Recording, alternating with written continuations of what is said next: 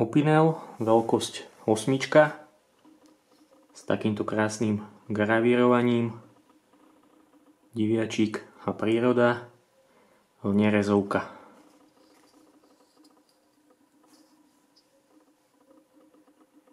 Nerezová čepel, sú to veľmi ostré nože ako žiletky. Poistka